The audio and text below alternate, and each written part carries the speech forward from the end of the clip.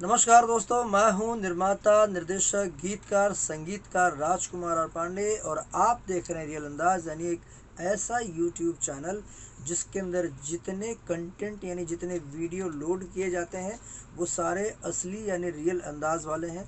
इसीलिए इस चैनल का नाम रियल अंदाज है और इसको जो चला रहे हैं, जो ऑपरेट करते हैं, हमारे बहुत ही प्रिय हमारे अंकित तिवारी और अवधेश तिवारी और पूरी टीम बच्चे सारे इसके साथ लगे हुए हैं।